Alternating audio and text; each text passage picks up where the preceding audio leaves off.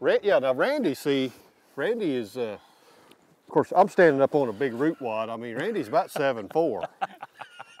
I'm only, 865 pounds. and I'm only about five six, so I have to stand up on something. But anyway, that's a good job, guys. We got us another squirrel. The dogs are already, they ain't waiting on us. They're gonna hunt a little bit more. We're gonna see if we can go out. This is fun. It's, it's a blast. I mean, this is fun. I used to do this with my granddaddy years ago.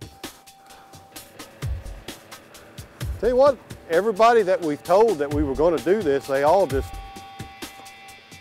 thought that's going to be just cool as cool as all get out. There's Eric right there. I, I thought Eric was already at the tree. He had the four trees before the dog. Come here, come here, stick him.